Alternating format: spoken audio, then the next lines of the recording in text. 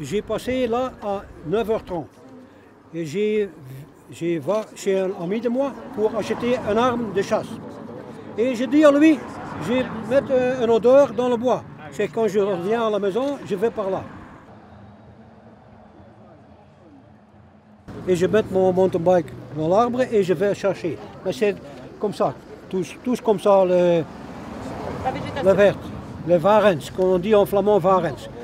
Et j'ai comme 20 mètres par là, 20 mètres par là, et un mètre comme ça. Et 20 mètres par là, et 20 et ap- une quart heure après, je pousse à son pied. Et je l'ai trouvé.